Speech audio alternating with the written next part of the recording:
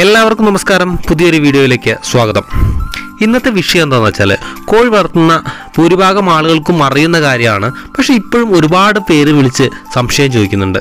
അതുകൊണ്ടാണ് ഇങ്ങനൊരു വീഡിയോ ചെയ്യുന്നത്. സംഭവം എന്താണെന്ന് വെച്ചാൽ കോഴിപ്പേരിനെ കുറിച്ചാണ്. യൂട്യൂബിൽ കോഴിപ്പേൻ എന്ന് സെർച്ച് ചെയ്താൽ തന്നെ നിരവധി വീഡിയോകൾ നിങ്ങൾക്ക് കോഴിപ്പേനിനെ കുറിച്ച് കാണുവാൻ സാധിക്കും. യൂട്യൂബിൽ നമ്മൾ പല ചാനലുകളുടെയും വീഡിയോകൾ കണ്ടു നോക്കുമ്പോൾ പല വിധത്തിലുള്ള മരുന്നുകളാണ് അവർ പരിചയപ്പെടുത്തുന്നത്. ഇതിൽ നാടൻ മരുന്നുകളുണ്ട് അങ്ങനെയുള്ള ഒരുപാടിനം മരുന്നുകൾ അവർ പരിചയപ്പെടുത്തുന്നുണ്ട്. അപ്പോൾ ഇത് എല്ലാം കാണുമ്പോൾ ഒരു സാധാരണക്കാരനായിട്ടുള്ള അല്ലെങ്കിൽ ആദ്യമായിട്ട് ഈ കുഴിവളത്തിലേക്ക് കടന്നു വരുന്ന ഒരാളൊക്കെ ആണെങ്കിൽ അവർക്ക് സംശയം ഉണ്ടാവും. ഇതിൽ ഏത് മരുന്നാണ് ഏറ്റവും നല്ലത് എന്നുള്ളത്. അങ്ങനെ ഒരുപാട് പേര് എന്നെ വിളിച്ച് ചോദിക്കുന്നുണ്ട്. യൂട്യൂബിൽ ഒരുപാട് വീഡിയോകൾ കാണുന്നുണ്ട്. ഇതിൽ ഏതാണ് ഏറ്റവും നല്ല മരുന്ന് എന്ന് ചോദിച്ചിട്ട് ഒരുപാട് പേര് എന്നെ വിളിച്ച് ചോദിച്ചിട്ടുണ്ട്. അപ്പോൾ എന്റെ അനുഭവത്തിലുള്ള ഏറ്റവും നല്ല ഒരു മരുന്നാണ് ഞാൻ നിങ്ങളെ പരിചയപ്പെടുത്തുന്നത്. ആ മരുന്ന് എങ്ങനെയാണ് ഉപയോഗിക്കുന്നതെന്നും ഇതിൽ വ്യക്തമായിട്ട് വീഡിയോയിൽ കാണിക്കുന്നുണ്ട്. അതുകൊണ്ട് തന്നെ സ്കിപ്പ് ചെയ്യാതെ തന്നെ വീഡിയോ മുഴുവനായിട്ടും എല്ലാവരും കാണാൻ ശ്രമിക്കുക. കോഴിപ്പേനെ കുറിച്ച് പറയുകയാണെങ്കിൽ പലരും വളരെ സിമ്പിളായിട്ട് കാണുന്ന ഒന്നാണ് കോഴിപ്പേൻ. കൊഴുപ്പൻ കോഴികളുടെ ശരീരത്തിൽ പെരുകിക്കഴിഞ്ഞാൽ അത് കോഴിയുടെ മരണത്തിന് വരെ കാരണമായേക്കാം. അതുകൊണ്ട് തന്നെ വളരെയധികം ശ്രദ്ധിക്കേണ്ട ഒന്നാണ് കോഴിപ്പേൻ എന്ന് പറയുന്നത്. നാടൻ കോഴികളിലാണ് സാധാരണ കൂടുതലായിട്ടും കോഴിപ്പേൻ കാണാറുള്ളത്. കൂടുതലും അടയിരിക്കുന്ന കോഴികളിലാണ് കോഴിപ്പേൻ വന്ന് കാണാറുള്ളത്. പിന്നീട് അത് മറ്റു കോഴികളിലേക്കും ബാധിക്കുകയാണ് ചെയ്യാറുള്ളത്. അതുകൊണ്ട് തന്നെ പണ്ടുള്ളവർ കുഴിയട അട വയ്ക്കുന്ന സമയത്ത് അതിൽ കുറച്ച് ആര്യവേപ്പില അതുപോലെ തന്നെ ഉണക്കമുളക് ഒന്നോ രണ്ടോ ഉണക്കമുളക് അതുപോലെ അതിന്റെ അടിയിലായിട്ട് മഞ്ഞപ്പൊടി വിതറുക ഇങ്ങനെയുള്ള പരിപാടികളൊക്കെ ചെയ്യാറുണ്ട്. ഇപ്പോഴും പലരും ചെയ്യുന്ന കാര്യമാണ്. ഇത് കൊഴുപ്പേനെ പ്രതിരോധിക്കാൻ വേണ്ടിയിട്ട് കൊഴുപ്പേന്റെ വരവില്ലാതാക്കാൻ വേണ്ടിയിട്ട് ചെയ്യുന്നൊരു കാര്യമാണ്. ഒരുപാട് കൊഴുപ്പേനകൾ ഉണ്ടെങ്കിലും പ്രധാനമായിട്ടും രണ്ട് തരം കൊഴുപ്പേനകളാണ് സാധാരണ കോഴികളുടെ ശരീരത്തിൽ കാണാറുള്ളത്. ഇതിൽ ആദ്യത്തെ ഇനം കൊഴുപ്പേനയാണ് ഇപ്പോൾ നിങ്ങൾ ഈ വീഡിയോയിൽ കാണുന്നത്. വളരെ സൂക്ഷിച്ച് നോക്കി കഴിഞ്ഞാൽ നിങ്ങൾക്ക് കാണാൻ പറ്റും. കൊഴുപ്പേന നിങ്ങൾക്ക് കാണാൻ പറ്റും. ഇവർ മനുഷ്യ ശരീരത്തിൽ കയറി കടിക്കുകയൊന്നും ചെയ്യാത്തതുകൊണ്ട് തന്നെ അധികം ആളുകൾക്ക് ഈ ഒരു പേനെ കണ്ടു പരിചയം ഉണ്ടായിരിക്കില്ല. ഇവർ കോഴികളുടെ ശരീരത്തിൽ കയറി കഴിഞ്ഞാൽ വളരെയധികം മാരകമായേക്കാവുന്ന ഒന്ന് തന്നെയാണ്. കാരണം കോഴികളിൽ കാണുന്ന നെഞ്ചിണക്ക് എന്ന് പറയുന്ന അസുഖം അവർക്ക് വരുന്നതിന് പ്രധാന കാരണക്കാരിൽ ഒരാളാണ് ഈ ഒരു ഈ ഇനം കോഴിപ്പേനുകൾ. അപ്പോൾ ഈ ഇനം കോഴിപ്പേനുകളെ നമ്മൾ വളരെയധികം ശ്രദ്ധിച്ചില്ലെങ്കിൽ അത് കോഴികളുടെ മരണത്തിന് വരെ കാരണമായേക്കാം. രണ്ടാമത്തെ ഇനം കോഴിപ്പേനാണ് ഇത്. ഈ ഒരു കോഴിപ്പേന നമുക്ക് എല്ലാവർക്കും അറിയുന്നതാണ്. ഇപ്പോൾ ഈ ഒരു കുഞ്ഞിന്റെ ശരീരത്തിൽ മൊത്തം കണ്ടോ? എന്റെ വിരലുകളിലടക്കം പേനുകൾ നിറയെ കാണാൻ പറ്റും. ഈ ഇനം കോഴിപ്പേനകൾ അടയിരിക്കുന്ന കോഴികളിലാണ് സാധാരണ കൂടുതലായിട്ടും കാണാറുള്ളത്. ഇപ്പോൾ അതാ വിരിഞ്ഞിറങ്ങിയ കുഞ്ഞാണ്. അതിന്റെ ശരീരത്തിൽ മുഴുവനായിട്ടും പെയിനാണ്. അടയിരിക്കുന്ന കോഴികളിൽ വന്ന് ക്രമേണ മറ്റു കോഴികളിലേക്ക് പടരുകയാണ് ചെയ്യുക. കോഴിപ്പേൻ വന്നു കഴിഞ്ഞാൽ കോഴികൾക്ക് വരുന്ന പ്രധാന പ്രശ്നങ്ങൾ എന്തൊക്കെയാണെന്ന് വെച്ചാൽ ഒന്ന് മുട്ട കുറയുന്ന പ്രശ്നം കാണാറുണ്ട്. അതുപോലെ തന്നെ തൂവലുകളെല്ലാം കൊഴിഞ്ഞു പോകുന്ന കുറേയൊക്കെ തൂവലുകൾ കൊഴിഞ്ഞു പോകുന്നതായിട്ട് ചില കോഴികൾക്കും കാണാറുണ്ട്. അതുപോലെ തന്നെ ഇവരുടെ രക്തം കുടിച്ചിട്ടാണ് കോഴിപ്പേനുകൾ ജീവിക്കുന്നത്.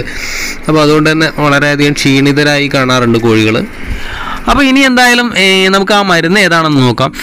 എന്റെ അനുഭവത്തിൽ എനിക്ക് ഏറ്റവും ഫലപ്രദമായിട്ട് തോന്നിയിട്ടുള്ള ഒരു മരുന്നാണ്. അത് ഏതാണെന്ന് നമുക്ക് നോക്കാം. രണ്ട് തരത്തിലുള്ള അണുനാശിനികളാണ് അതിനായിട്ട് ഞാൻ യൂസ് ചെയ്യാറുള്ളത്. ആദ്യത്തേത് ക്ലിനാറാണ്. വിർബാക്ക് കമ്പനിയുടെ ക്ലിനാർ എന്ന് പറയുന്ന ഒരു ലിക്വിഡ് ഫോമിലുള്ള ഒരു അണുനാശിനിയാണ് ഇതിന്റെ വില എന്ന് പറയുന്നത് അഞ്ച് എം എല്ലിന്റെ ചെറിയ ബോട്ടിലിന് ഇരുപത്തി നാല് രൂപയാണ് വിലയായിട്ട് വരുന്നത്. അടുത്തത് ഞാൻ ഉപയോഗിക്കാറുള്ളത് വിർബാക് കമ്പനിയുടെ തന്നെ വിട്രാസ് എന്ന് പറയുന്ന ഒരു അണുനാശിനിയാണ്. ഇത് ആറ് എം എല്ലിന് മറ്റ് മറ്റേതിനേക്കാളും കുറച്ച് വില കൂടുതലാണ്. ഏകദേശം അമ്പത്തി രണ്ട് രൂപയോളം വില വരുന്നുണ്ട് ആറ് എം എല്ലിന്റെ ചെറിയ ബോട്ടിലിന്. ഈ രണ്ട് ചെറിയ ബോട്ടിലും കൂടി നമ്മൾ മിക്സ് ചെയ്തിട്ടാണ് ഉപയോഗിക്കാറുള്ളത്. പലരും ഇത് ഓരോന്നോരോന്നുമായിട്ട് സെപ്പറേറ്റ് വാങ്ങിയിട്ട് കൊടുക്കാറുണ്ടെങ്കിലും കൂടുതൽ ഒന്നുകൂടി ഗുണപ്രദമായിട്ടുള്ളത് ഒന്നുകൂടി പെട്ടെന്ന് തന്നെ എല്ലാ തരം പേനകളുടെയും നമുക്ക് ഒഴിവാക്കാൻ പറ്റുന്നത് ഇത് രണ്ടും കൂടി മിക്സ് ചെയ്തിട്ട് യൂസ് ചെയ്യുമ്പോഴാണ്. അപ്പോൾ നിങ്ങൾക്ക് കുറച്ച് കോഴികൾ ഒരു പത്തോ ഇരുപതോ കോഴികളൊക്കെ ഉണ്ടെങ്കിൽ ഇങ്ങനെ ചെറിയൊരു ബോട്ടിൽ ഈ ചെറിയ രണ്ട് ബോട്ടിൽ വാങ്ങിയിട്ട് ഒരു ബക്കറ്റ് വെള്ളത്തിൽ മിക്സ് ചെയ്തെടുത്താൽ മതി. ഇനി കൂടുതലുണ്ടെങ്കിൽ ഇതിന്റെ വലിയ ബോട്ടിൽ കിട്ടും. കൂടുതൽ കോഴികളൊക്കെ ഉണ്ടെങ്കിൽ വലിയ ബോട്ടിൽ കിട്ടും. കുറച്ച് കോഴികളുള്ളതെന്നുണ്ടെങ്കിൽ ഈ ഒരു ചെറിയ ബോട്ടിൽ തന്നെ മതി. ഇനി നമുക്ക് വേണ്ടത് രണ്ട് ബക്കറ്റ് വെള്ളമാണ്. ഈ രണ്ട് ബക്കറ്റ് വെള്ളം എന്തിനാന്നുള്ളത് ഞാൻ പിന്നീട് പറയാം. അതിൽ ആദ്യത്തെ ബക്കറ്റിലേക്ക് നമ്മൾ ഈ ഒരു മരുന്ന് പൊട്ടിച്ചൊഴിക്കുകയാണ്. ഇത് നമ്മൾ ചെയ്യുന്ന സമയത്ത് ശ്രദ്ധിക്കേണ്ട ഒരു കാര്യം കൊച്ചു കുട്ടികളൊക്കെ ഉണ്ടെങ്കിൽ വളരെയധികം ശ്രദ്ധിക്കുക. ഇതിന്റെ സ്മെല്ലൊക്കെ ഭയങ്കര പ്രശ്നമാണ്. കുട്ടികൾക്കൊക്കെ ഭയങ്കര പ്രശ്നം ചെയ്യും. അതുപോലെ തന്നെ നമ്മളും പരമാവധി ഗ്ലൗസ് ഒക്കെ ഉപയോഗിച്ചിട്ട് ചെയ്യാൻ ശ്രമിക്കുക. ഇനി അഥവാ ഗ്ലൗസ് ഒന്നും ഇല്ലെങ്കിൽ പോലും നമ്മൾ നന്നായിട്ട് സോപ്പ് ഉപയോഗിച്ചിട്ട് കഴുകുക. ഇതിന്റെ കാലി ബോട്ടിൽ നമ്മൾ അവിടെ എവിടെയും വലിച്ചെറിയരുത്. ഒന്നുകിൽ കത്തിച്ച് നന്നായിട്ട് കത്തിച്ച് കളയുക അല്ലെങ്കിൽ കുഴിച്ച് മൂടുക എന്തെങ്കിലുമൊക്കെ ചെയ്യുക. അതല്ലെങ്കിൽ കുട്ടികളൊക്കെ എടുത്ത് കഴി കളിച്ച് കഴിഞ്ഞാലൊക്കെ അത് അവർക്ക് ഭയങ്കര പ്രശ്നം ചെയ്യും.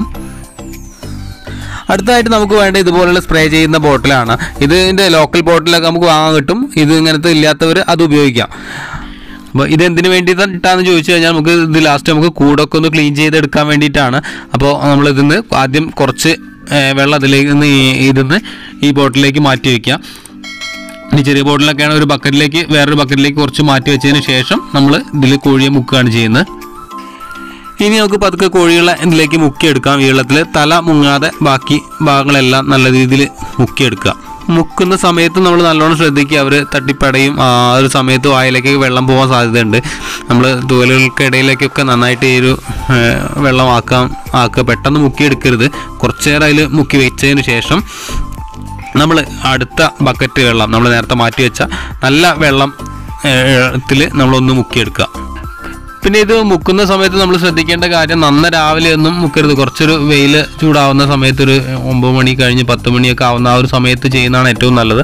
കാരണം ഇവരുടെ ദേഹത്തുള്ള ഈ ഒരു മരുന്ന് പെട്ടെന്ന് തന്നെ ഉണങ്ങി പോകുന്നതിന് വേണ്ടിയിട്ട് അങ്ങനെ ചെയ്യുന്നതാണ് ഏറ്റവും നല്ലത്. എല്ലാ കോഴികളെയും മുക്കിയെടുത്തതിന് ശേഷം നമ്മൾ അടുത്തായിട്ട് ചെയ്യേണ്ടത് നമ്മൾ കൂട് ക്ലീൻ ചെയ്യുക എന്നുള്ളതാണ്. അപ്പോൾ ഈ ഒരു കൂടിന്റെ അവസ്ഥ നിങ്ങൾ നോക്കൂ. നിങ്ങൾ സൂക്ഷിച്ച് നോക്കി കഴിഞ്ഞാൽ കൂട് നിറയെ കൊഴുപ്പേനെ നിങ്ങൾക്ക് കാണാൻ പറ്റും. കൂടിന്റെ കൂടിന്റെ ഡോറിലൊക്കെ നിങ്ങൾക്ക് കൊഴുപ്പേനെ കാണാൻ പറ്റും. അപ്പോൾ ഇതൊക്കെ നശിപ്പിച്ചില്ലെങ്കിൽ നമ്മളിങ്ങനെ മുക്കിയെടുത്തതിന് കോഴികളെ മാത്രം മുക്കിയെടുത്തുകൊണ്ട് കാര്യമില്ല. അതിനുശേഷം നമ്മൾ മാറ്റി വെച്ചിട്ടുള്ള മരുന്ന് കൂട്ടിലൊക്കെ നന്നായിട്ട് സ്പ്രേ ചെയ്ത് പിടിപ്പിക്കാം. അപ്പോൾ ഇതേ രീതിയിൽ നമ്മൾ ഒരു രണ്ട് മാസം കൂടുമ്പോഴൊക്കെ നമ്മൾ കോഴികളെ ഇതുപോലെ ഒന്ന് മുക്കി എടുത്തു കഴിഞ്ഞ് കൂടൊക്കെ ഒന്ന് ക്ലീൻ ചെയ്ത് കഴിഞ്ഞാൽ കോഴിപ്പേൻ എന്ന് പറയുന്ന സംഭവം തന്നെ നമ്മുടെ നമ്മളെ കോഴികളിൽ കോഴികളെ ബാധിക്കില്ല. അപ്പോൾ എനിക്ക് ഏറ്റവും ഫലപ്രദമെന്ന് തോന്നിയിട്ടുള്ള രണ്ട് മരുന്നുകളാണിത്. ഞാൻ സ്ഥിരമായിട്ട് ഉപയോഗിക്കുന്നു ഈ രണ്ട് മരുന്നുകൾ തന്നെയാണ്. അപ്പോൾ ഇന്നത്തെ വീഡിയോ എല്ലാവർക്കും ഇഷ്ടപ്പെട്ടു എന്ന് വിചാരിക്കുന്നു. വീഡിയോ ഇഷ്ടപ്പെട്ട ലൈക്ക് ചെയ്യുക കമന്റ് ചെയ്യുക സബ്സ്ക്രൈബ് ചെയ്യാത്തവർ ആരെങ്കിലും ഉണ്ടെങ്കിൽ സബ്സ്ക്രൈബ് സബ്സ്ക്രൈബ് ചെയ്യുക. നിങ്ങളുടെ സപ്പോർട്ട് തന്നെയാണ് ഇനിയും ഇനിയും വീഡിയോസ് ചെയ്യാനുള്ള എന്റെ ഒരു പ്രചോദനം എന്ന് പറയുന്നത്. അപ്പോൾ വീണ്ടും മറ്റൊരു പുതിയൊരു വീഡിയോവുമായിട്ട് വരുന്നതുവരെ എല്ലാവർക്കും നന്ദി നമസ്കാരം.